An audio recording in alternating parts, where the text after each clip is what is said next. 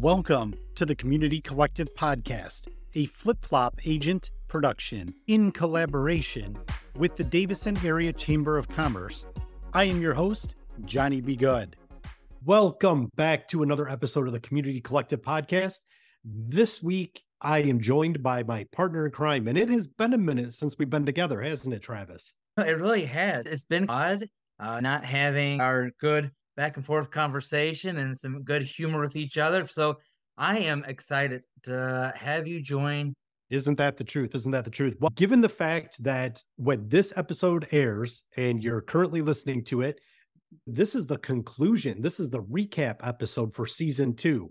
Now, for those of you that haven't been listeners for long or you're just hopping on board the community collective, what we do is every six months, basically Q1 and Q2 of 2023 was season one, and now with season two, basically from July 1st on, is weekly episodes has been season two. Season two was just filled with so many great interviews, discussions, things like that, that we wanted to take an opportunity to you know, recap and maybe discuss a few things, maybe hear a little bit more from us than some of our guests. And I'm going to play the role of interviewer today. So, Travis, I hope you're ready for some hard hitting questions. I've got on uh, my Barbara Walters sweater and I'm ready to go. I'm ready to sweat some bullets here. I got my coffee, my water ready just to, keep my mouth ready to just talk as much as possible with you. That's so. perfect. I am absolutely looking forward to it. So I'm going to lob you a softball here right off the rip, and let's see where we can go from here. Which local local guest or business owner that we interviewed left the biggest impact on you, and how do you think it benefited our community? Wow, that I would say, you know, I was looking over all of my notes from the year and looking over the episodes and we've had almost 40 episodes. We're just below yeah. it. And looking over it, and I kind of was listening to a few of them again. And that's it. That was a this is a really tough question. I will say one of the ones that I personally enjoyed the most was with our chamber board members and ambassadors on one side, just because it gave me the chance to really talk to them more and get to know more about them, which is really good. We see each other at all these events, but sometimes we're also busy talking with everybody and staying organized that you don't really get to know everybody all the time very well. And so I would say those that group was very interesting, and it was nice for me to be able to have that kind of a little bit one-on-one time with them on this podcast. Uh, but probably the one I think that had probably the biggest impact on me was Davison Township Parks and Rec. I will say I've always enjoyed going out there with my family and talking to them. And you talk to the team out there, and you can tell how passionate they are about it. But until you really sit down and talk to them, and when we had Casey on to talk about everything the park's going, you really see their passion for what they're doing, and they aren't just doing it because it's a job. And and I think that made me appreciate when I go to the Trail of Lights or I go to a pottery class or kids go to a cooking class. They're doing it because they love it, and that I think had a big impact on me because this is something we see every day and you might not always take advantage of something that is in our community but the, our parks departments everywhere and it's available yeah. for everybody yep. and i think that one uh, they're not a business they're a through davison township and they're there for the public to use and the public supports them um, but i think that was that one had the biggest impact on me just because yeah. of seeing how committed they are just to make other people's families happy, and create memories. Yeah. No, absolutely. I agree wholeheartedly with that uh, as far as Parks and Rec goes. I think the one thing that me personally, how it's benefited the community is that if you have been listening with us weekly on all the different platforms, one thing you'll realize, even going back to the very beginning when we started and really had no clue what we were doing, everyone, regardless of whether we're talking to somebody from uh, the other side of Flint, whether we're talking to somebody in Lapeer, everyone has such a grounded enthusiasm for their community in and of itself.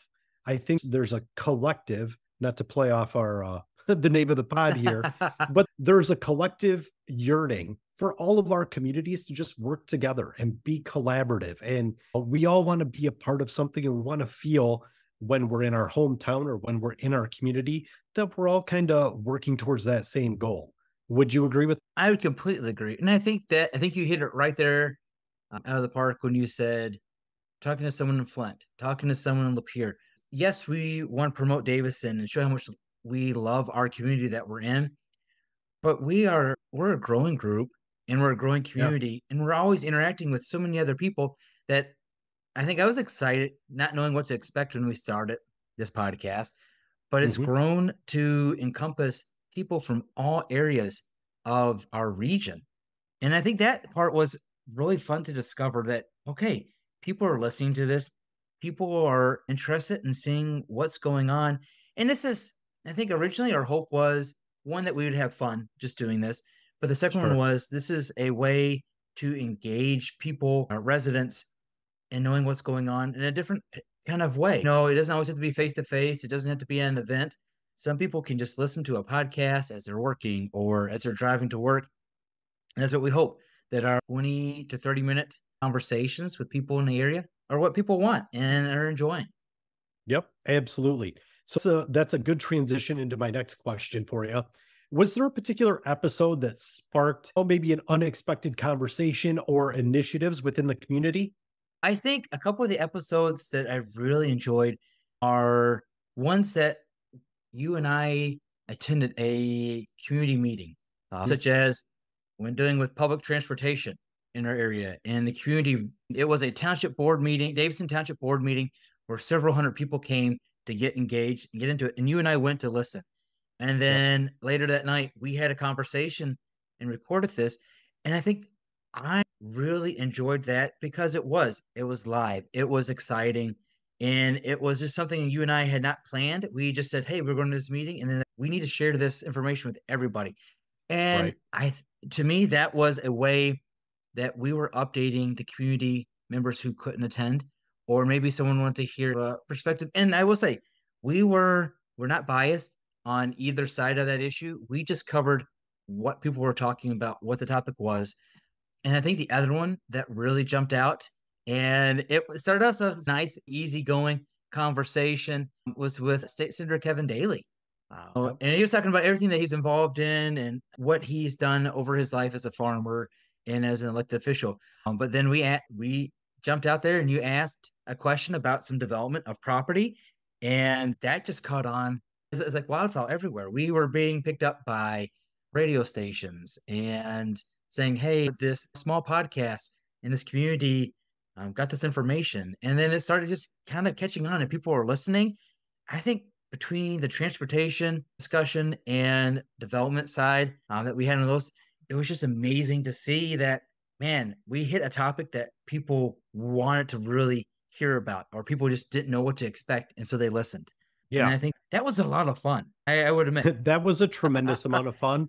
And just to be clear, if we never record another single episode, the simple fact that I can put on my headstone one day that our podcast was able to scoop the Lapeer County Press, I will yes. forever wear that as a badge of honor. I thought that oh was oh amazing. Gosh. Why'd some rinky dink podcast get the scoop, Senator Daley? And he's all they did was call me. You guys could have called me as well. Guess yes. what? Over here at the Community Collective, we're not afraid to put in the hard work. That's right. We know not only do we want to talk about fun things, but we ask the tough questions. That's right. Asking the tough questions. Right. Again, Travis, you're a master of transitions. That kind of leads me into my next question uh, that's a little bit on the flip side of that. So, looking back, is there an episode you wish you would approach differently to better serve the community? Yeah. Thinking about it, I've always been really happy with how the episodes have gone. And I know there's always probably questions that I wish I had thought of to ask later on. And it's one of those ones where my mm-hmm. mind starts thinking afterwards. But one thing that I wish I had thought about, and maybe this is a goal for 2024, is that our podcast gets together and just, you know, you and I talk about some community updates from the perspective of the chamber. This is how we see what's going on in the community. Um, I kind of, you know, I wish we had thought about, oh, what way can we just kind of talk about what's going on in the community outside of interviewing a business owner or someone's engaged sure. into it and just our perspective of it. I think that's something that I I think we should look at for 2024 and it's just a way maybe that uh, we invite some people on and we say, "Hey, what do you think about, you know, what's going on in the community right now? What, what do you enjoy?" and just a conversation style about everything in our area. Yeah, I think that's a great idea. And it almost allows us with one of the things we want to do with expanding the podcast and being able to interview multiple people at the same time, being able to do almost like a community roundtable once a month. Something yes. like that would be great where three or four of us get together. We have an opportunity to sit down and converse about developments happening in the area or things we would like to see or problems that we could potentially solve. So that's a great suggestion, Travis. I like that a lot. Yeah. And I know if you listen to podcasts, um, I'm listening to some, and they could be on a variety of things, everything from Disney to something at our church to this podcast to just random um, ones I find that seem interesting about something that's going on in our area. Mm-hmm. And I do. I always like it when there's a good conversation going and with lots of people. And I think that's beneficial. Yeah. It might be a lot of chatter, um, but I think people like to listen to it. And it sometimes it's pretty entertaining just to hear those different perspectives. Yeah, absolutely. And we're all melting pot. Nobody's ever going to agree with somebody else 100%. Uh, but I think going back to talking about the transportation issues or when Lake Callis was closing, potentially all those different things that we discussed and we covered uh, in season two, well, season one and season two, so much of it hinges on the fact that as a community, we need to be able to have civil discourse. We need to be able to have conversations without yelling and screaming at each other. We need to be able to hear other people's opinions. It doesn't mean we have to agree with them, but we need to be able to listen discuss, understand, empathize, all of those different things. And I think that's my hope is that when we have uh, guests join us on the podcast, we're not really picking and choosing to say, oh, we agree with you on this, or you're someone that's controversial. Let's come on. No, we just want to have people come on and just have a conversation with them and just see where it goes from there. And it's mostly, yeah, like you said, we're trying to just engage the community. Uh, we're just trying to show them that the Davison Chamber offers a lot of different avenues of just being part of something really good. Yeah, yeah, absolutely. Absolutely. So now moving forward, we've had almost 40 some odd different interviews and discussions with people from throughout the area. You talked about it initially yes, it is a collaborative effort um, with the Davison Area Chamber of Commerce, but we are talking to members over in Lapeer County, over in Flint, yes. different organizations, different groups. So, how have the conversations you've had with local figures changed your perspective on our community? Man, they, you know, I will say I'm always fascinated because since the first questions we always ask, um, or kind of tell us a little bit about your background and even kind of lead into what are like what do you really enjoy about your community or our community that you're living in since we are interviewing people in other places. And i to me that gives me a perspective of oh i never thought of something like that. Whether it's talking to the grand blanc chamber or the flint genesee chamber we're all interacting we're all seeing things but when i say oh we tried this or this is what my passion is oh i completely agree with you.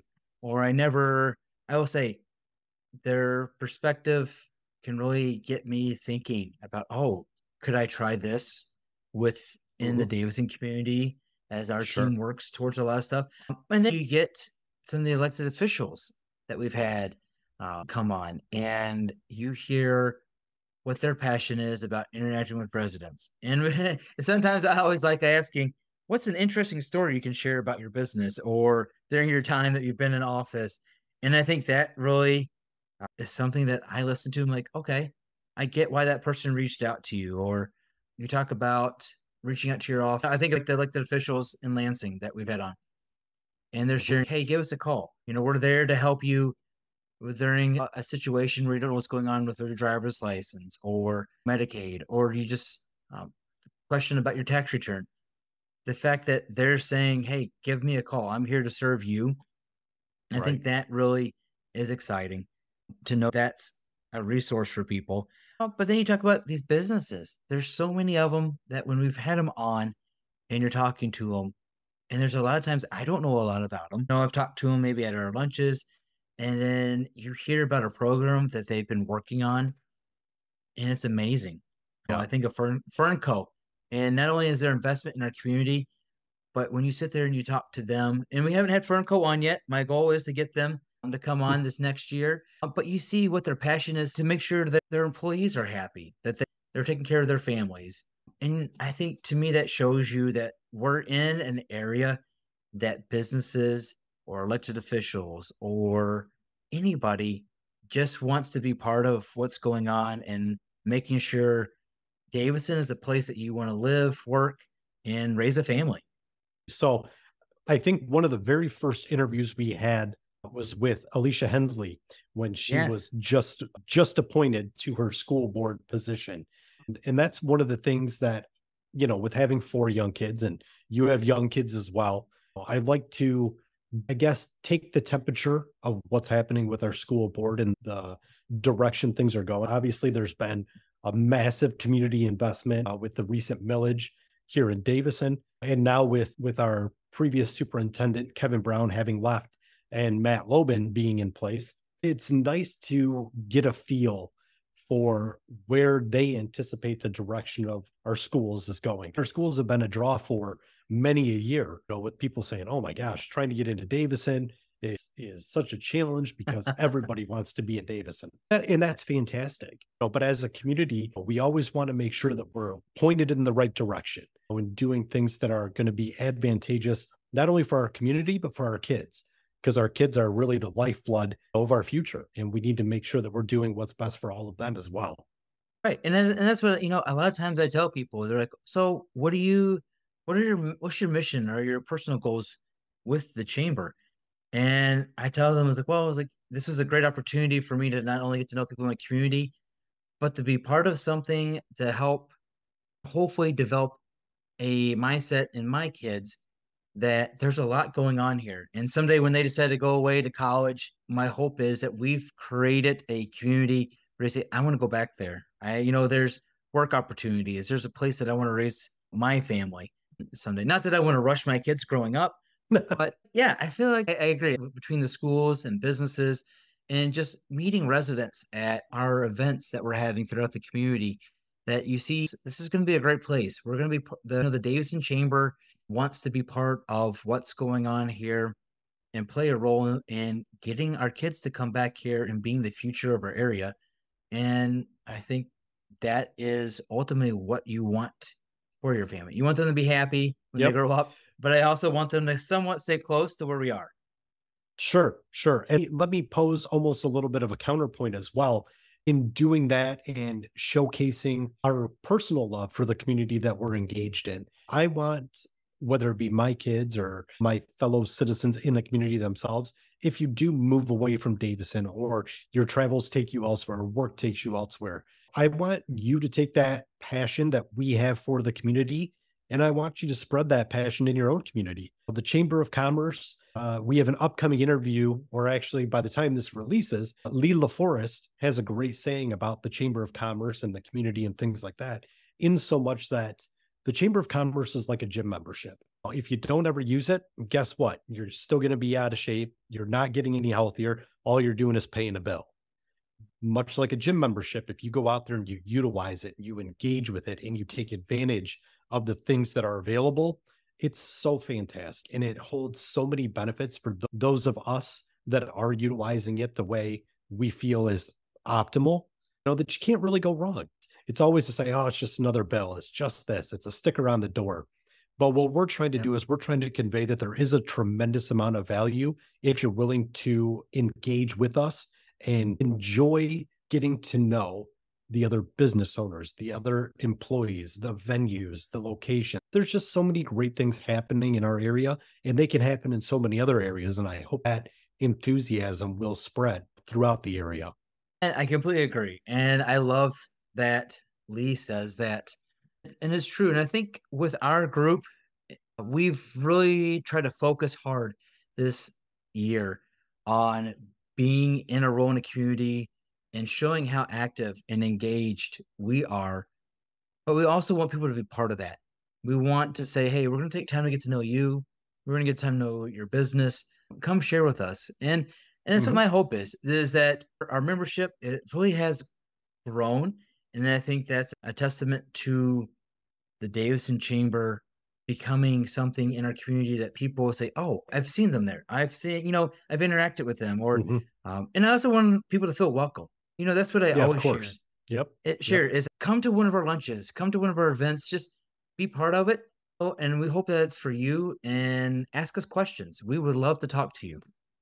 Oh, for sure. No, absolutely. Absolutely. We can meet you on your level, but we hope you'll meet us on ours, uh, which is those monthly community connection lunches that we have. So many after hours events and other great events coming up. All right. We've talked about a ton of stuff, but the last question I have for this recap episode is what are some of the dream interviews or community topics you're hoping to cover uh, in season three and season four throughout the year 2024? Well, I sit there and I look at our, our total number of members we have. And I think, okay, how can we fit all of these businesses in a year of talking to them? And I'm like, okay, sure, we're going to get there. I think one of the things that I really hope for for 2024 is that we're going to be ahead of the game and we're going to talk to any organization that's going to be hosting an event and mm-hmm. get them on oh, a couple weeks before and get them talking about it. And then we can play a role in helping promote what they are doing. Um, you know, it, it could be everything from a fundraiser that an organization is hosting to just a, a community event that people can attend and enjoy something. I think that's what one area I would really want to do is just be part of what's going on in the events and promoting to people. That way, we're just in there avenue someone can find out what's going on in the area. Um, I think I would like to get. We talked about a roundtable conversation going um, find some topics that we can just get a, a, group of people together to discuss on this podcast. And it could mm-hmm. just be, hey, did you see that's going on in downtown Davison? You know, do sure. you know what's going on? And I you know I think those not might not be like tough questions, but it's just good conversation. Yeah. And not only does it help me feel I know what's going on and I can tell my family about it, but we want other people to do that too. Um, so other topics, man, that's Johnny. This is a tough question. Because sometimes I, well, I, I, told I, you I had my Barbara Walters sweater on, man. I was ready yeah. to bring you the toughies. Now, now you really get the cameras on me and the sweat's forming from the pressure of this one. Uh, yep, yep. Yeah, I feel we can really grow this podcast and influence that Davison has um, in the area by bringing on guests that are maybe not from, or find someone from another county that can share, hey, this is what we have going on. And I think that just shows that we want to know what opportunities are out there to learn about other things and maybe our community learns from it and says oh we should try that. So i think really kind of reaching out outside of our bubble um, as i think we could do just to bring in more people into this conversation and as become part of our community. I love it. I love it. What a great goal for 2024 i have i actually have a top five list of people i'm working on for 2024 for myself to bring on the pod as well with travis uh, but I will not reveal them because I'm working with agents and trying to coordinate things and see if somebody wants to be on this quote unquote rinky dink little community podcast. but I tell you what, we sure as heck have a lot of fun with it. And if anything, we're passionate about it. We wouldn't be doing this if we didn't enjoy it. We're not paid, we're not sponsored. Travis and I take time out of our schedule to do this because we are passionate about it and we do want to bring value and information to the community at large. I think that's one thing that I would like to see more of if I did have a magical wish list. Up pretty high on that list would be wanting the community to engage with us. Tell us who you want. Who do you want to hear from? Who do you want us to bring on the pod? Are there specific topics uh, that you'd like us to discuss? We'd love to do it. But and- we're only two random guys just hanging out, podcast for the fun of it if there's really a hard hitting issue or something that needs to be discussed, we're not afraid to tackle that if we can. So don't be afraid to reach out to us and let us know what you want to talk about and who you want to hear from. And I think the cool thing is that we want everyone to feel, yeah, like you said, reach out to us. We'd love to have you on as a guest. Um, we'll talk to you beforehand, kind of get an idea of what you want to cover. But we really have this podcast has grown from something just fun to do to now we're streaming on what Apple Podcasts, everywhere. Google Podcasts, everywhere, Spotify, Buddy, and with oh. with my with my nerdiness, I have put us on every podcasting platform from here to Christmas. So we are syndicated to the interwebs. I had uh, just checked earlier before we hopped on this pod, and we have people that have downloaded episodes in Germany, uh, people that have downloaded episodes in England, that are listening as well We've got obviously locals of the area. We've had hundreds of downloads of people listening locally, which is fantastic. And for a podcast that just recently got syndicated, I am extremely happy with the support we received from the community. And I'm definitely looking forward to blowing the doors off 2024. It's going to be a blast. Oh man, I'm really excited just to see because I know I just like you, I had my list going of people I want to talk to or businesses, and I feel like it's growing every day. I'm sitting there, oh, I really want to talk to this person, or oh, this could be a good topic. Uh, and I think that's what 2024 is going to be about: getting more people engaged, yep. having more conversations, and I think ultimately just keep having fun. That's what I oh for sure want people to do. I want people to say, I've never been on a podcast, but man, that was fun. Can you have me on again in a couple months? and uh, right away say yes. You we'll work it out and we'll get you back on. We'll talk some more. So I love it. I absolutely love it. Travis, this was an amazing recap episode. Just being able to reflect on where we started and where we are currently. You know, we've got so many great things planned. We're actually going to be, we'll have already met by the time this episode's released, but we're planning our 2024 episodes, changing things up a little bit, eh, but continuing to do the things that are working well for us and how we can continue to bring you guys the information that you deserve. The, the forthcoming aspects of what's happening with our community leaders, whether it be the city, Richfield Township, Davison Township, City of Davison. We want to keep engaging on your level and letting you guys know what's happening in the areas. Travis, as always, my friend, it was so great to actually catch up with you on an episode instead of me having to do intros and outros as our schedules have finally aligned. So it was great to chat with you today, and I'm looking forward to one hell of a fun 2024.